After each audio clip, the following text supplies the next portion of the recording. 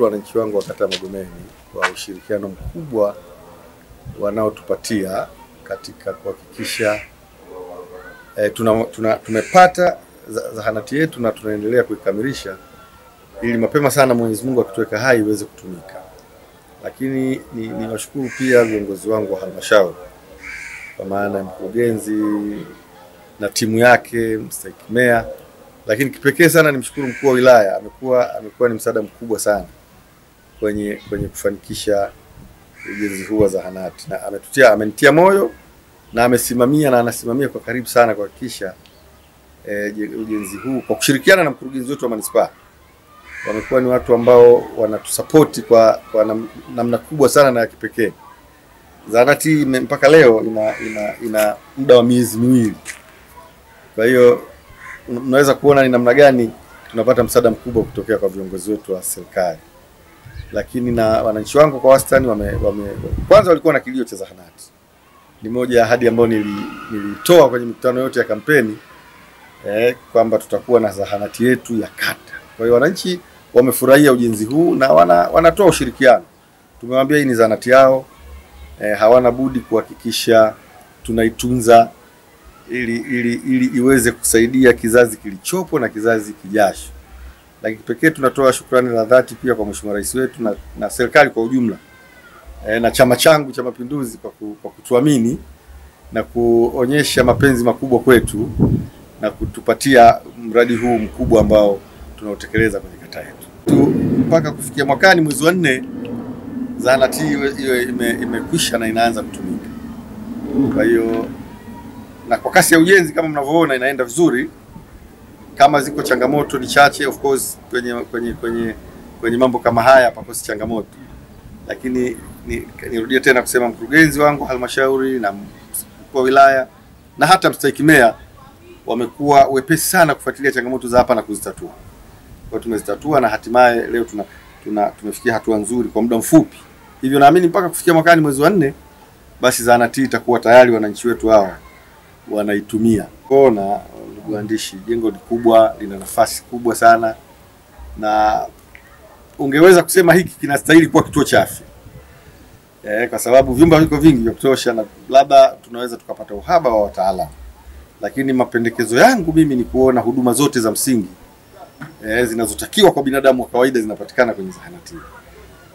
Tutashauriana Tuta, na viongozi wetu halmashauri na serikali kuu kwa ujumla, na bahati nzuri ni watu wasikivu ili tuweze kuhakikisha huduma za mama na mtoto na huduma nyingine za kijamii zote zinapatikana kwenye zahanati yetu. Wito wako ni nini zaidi kwa wananchi? Ah, wito wangu kwa wananchi ni tu, tuunge mkono jitihada za dhati za serikali yetu chini ya rais wetu kipenzi Dr. John Joseph Pombe Magufuli, lakini tuunge mkono pia halmashauri kwa usimamizi mzuri wa miradi yetu.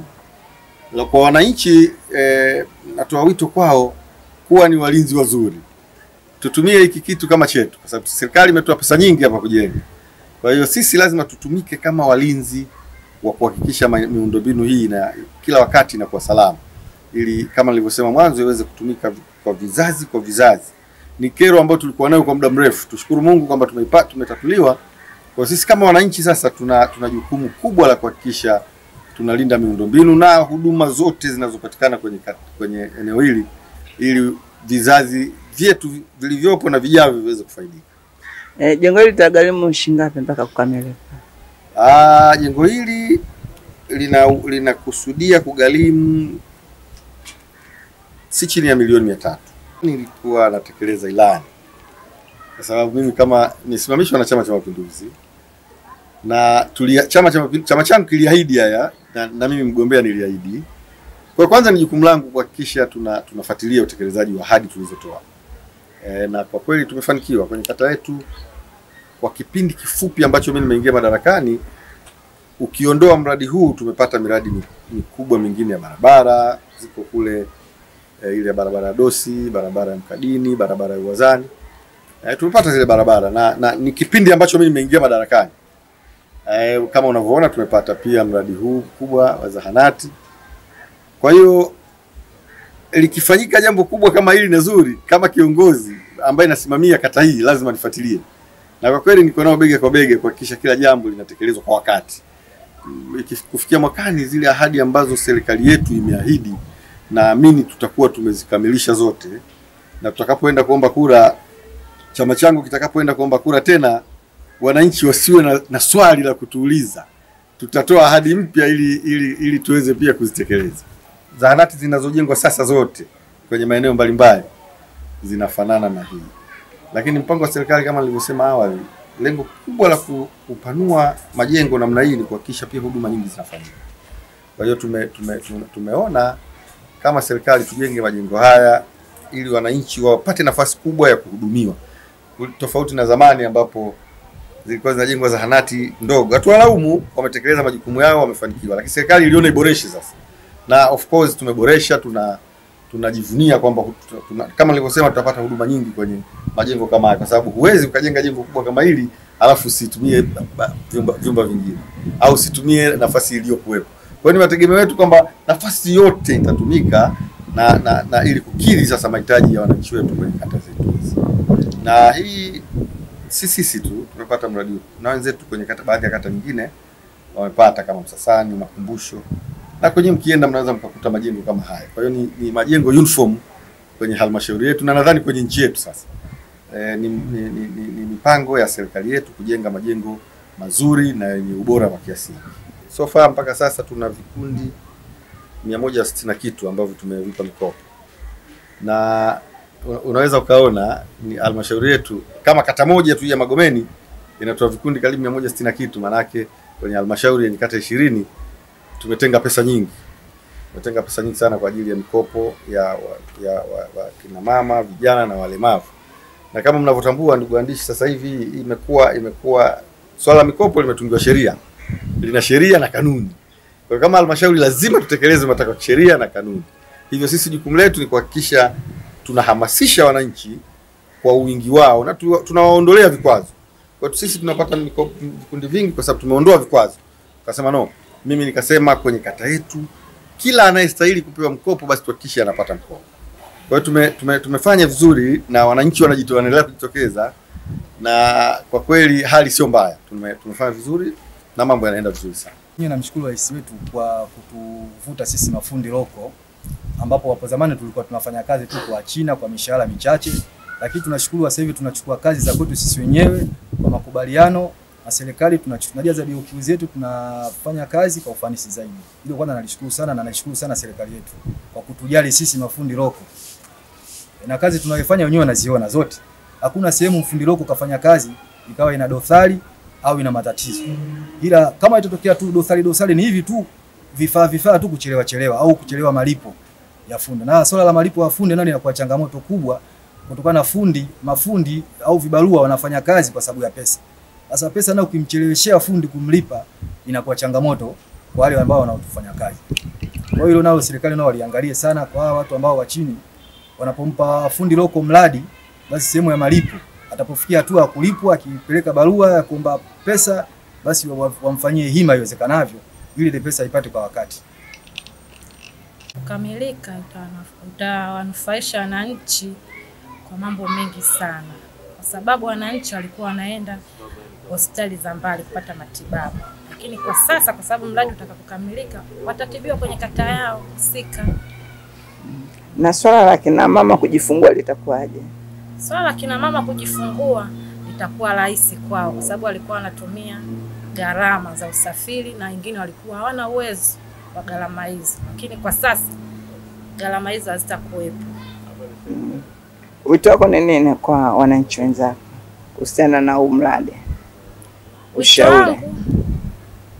wito wangu kwa wananchi wenzangu wazidi kudumisha kwa viongozi wetu, yani ili maendeleo yazidi kuwepo, sababu bila maendeleo hata haya mambo yasingekuwepo. Kwa hiyo haya ni maendeleo ambayo rais wetu John Pombe Magufuli anayahitaji. Eh. Naitwa Nasoro Abdalla Mdugile, ni mkazi wa Magomeni Makuti. Eh. Eh, Kwanza napenda kutoa shukrani kwa serikali yetu ya Chama cha Mapinduzi ambayo inaongozwa na Magufuli. Yaani sisi wa- wa- wakazi wa Magomeni Makuti hatukutegemea kama tutapata hospitali kubwa kama hii hapa, na kipindi wanataka kuanza hili zoezi, sisi tulikuwa tunashona hapa. sema kweli, tulikuwa tunaona kama vitu tunaonewa, lakini hatima yake tumekuja kuwekewa kitu hiki, hatukutegemea ni hospitali kubwa ambayo itasaidia watu wote hapa Magoli Mapoti. Lakini wakati zoezi linaanza, kulikuwa na baadhi ya wafanyabiashara kwa yani, tunaona kama tunaonewa, kumbe kitu kilikuwa kinatusaidia sisi watu wachache. Sasa hivi nakuja kusaidia umma mkubwa tu. Hata leo DC alikuja hapa aliniuliza vipi, nikamwambia tunashukuru sana serikali kutuletea kitu kama hiki hapa, hatukutegemea eh. Nadhani hata wewe mwandishi habari unaona, so hii sehemu kipindi kile iko hapa, watu wacheza mziki tulikuwa ndogo sana, lakini leo nimekuja kutoka kitu ambacho naona inachoana na hospitali ya Magomeni, ndani ya hospitali ya Magomeni. E, kwa hiyo kwa kwa kweli tunashukuru sana uongozi wetu wa sasa hivi unafanya kazi na hata ile kodi yetu tunaotoa tunaona inafanya kazi gani. Sisi wengine tulitanguliza Nyerere tu, akaja Mwinyi tupo, eh, Mkapa, lakini leo hii yani kodi yetu kweli inafanya kazi, siku za nyuma kule ah, nakatwa kodi na nini, hatimaye tunatengenezwa kuna barabara moja ambayo ya Somanga tuliambiwa sijui oh, lami nyepesi, kushangia tena madarakani tutakuwekea kreni lami nzito, hatimaye kama kabisa salami ipo. Lakini sasa hivi bwana anakusanya hela, anachukua kodi zetu, lakini kazi inaonekana inafanya. Tunashukuru. Eh, na tunamshukuru sana huyu bwana injinia hapa. Kusema kweli, na mimi naona naangalia sana Taifa Habari. Taifa Habari huko watu manjinia wengi wanawekwa ndani. Kufika kiongozi, kazi haziende hela zishachukuliwa. Lakini ubaya anafanya kazi katika mazingira magumu sana. Lakini amefanya kitu ambacho kinaonekana. Eh, kwa hiyo tunashukuru uongozi wetu. Tunashukuru wakuu wetu wa wilaya, mganga mkuu mara kwa mara anakuja yani hawalali usiku na mchana. Eh. Kwa hiyo nasema kweli viongozi wa Bwana Magufuli wanamsaidia hasa kwa upande wetu. Sisi tunawaona. Eh, sisi tunakaa hapo unamwona mara kaja kama yule mganga mkuu ndio halali yule bwana asubuhi mchana jioni. Eh, hata DC, DC nishaona zaidi mara nne mara tano hapa. Eh. Lakini nashukuru kusema kweli. Sina zaidi ya kuongea na kupongeza serikali yetu na tunamwombea dua viongozi wetu wa juu. Mungu amjalie azidi kuendelea. Na miaka mikumi miaka mitano imebaki. Yaani tunamwombea dua apite bila kitu chochote. Na kama ingekuwa inawezekana kubadilisha katiba, mimi nataka Magufuli apige hata miaka 20. Dawa wananchi tunaomba tuelewe ukamilifu wake hapa tuliopo. Tunakusudia Mungu akipenda mpaka mwezi wa nne mwakani zahanati iwe inaanza kazi. Kwa hiyo ndio nimeuliza fundi kama anaona kuna changamoto yoyote ambayo mimi natakiwa ni push, na mwenyewe anafahamu fundi, kila panapokuwa na changamoto akiniambia mimi napambana pambana tu.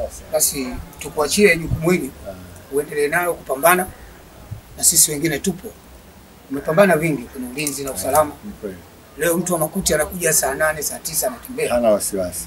na sasa pambana kwenye huduma ya afya. Na nakusudia lini kuanza kuweka nani nyuma mfumo wa umeme?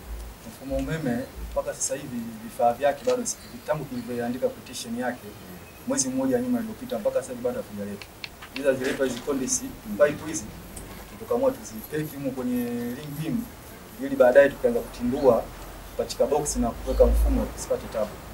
Kitu gani kinakwamisha na mnahitaji msaada gani Bwana, Yaani msaada hapa tunahitaji kuwapushi tu watu wa ugavi kuhusu swala la vifaa, walete vifaa kwa wakati.